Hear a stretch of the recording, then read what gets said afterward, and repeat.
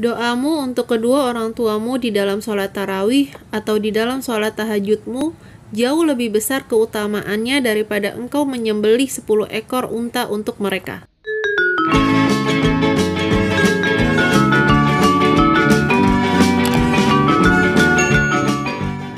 Assalamualaikum semuanya, kembali lagi di channel Dapur Yani bersama Bunda Riani. Di video kali ini Bunda akan kembali ngasih ide jualan dari bahan-bahan yang mudah didapatkan dan yang pastinya murah.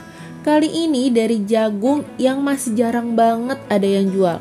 So, tonton videonya sampai habis ya. Dan bagi yang belum subscribe, subscribe dulu. Terima kasih. Pertama-tama, jagungnya ini kita parut dulu nih. Terserah parutannya mau pakai apa. Ini Bunda pakai yang ada aja kayak gini. Parut semua sampai habis ya. Selanjutnya, tambahin 1 liter air dan masak sampai mendidih. Terus kalau udah mendidih kayak gini, kita tambahin 600 gram gula pasir.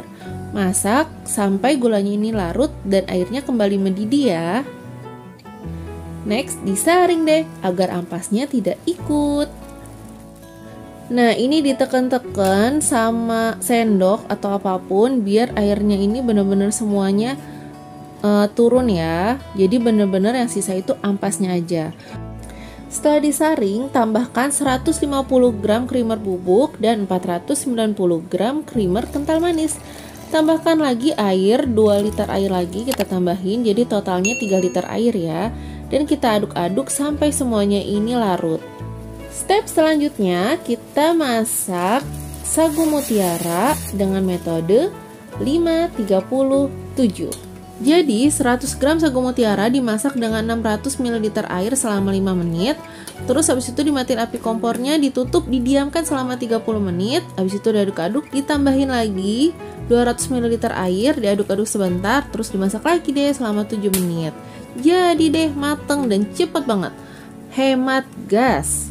Kalau sagu mutiaranya udah mateng, udah tinggal disiap-siapin aja siapin es batu, taruh di cup, terus tuang larutan jagungnya, abis itu taruh di sagu mutiaranya. Hmm, ini enak banget, banget, banget, banget. Pokoknya seger untuk buka puasa atau untuk hidangan jamu tamu saat lebaran nanti. Hmm, anak-anak, orang dewasa, ya semuanya pokoknya pasti suka. Dengan modal cuma 48.000 jadi 45 cup. Jadi modal per cupnya cuma 1066 rupiah aja. Bisa dijual dengan harga 3.000, 5.000 atau sesuaikan dengan daerah kamu ya. Silahkan dicoba di rumah. Terima kasih. Assalamualaikum.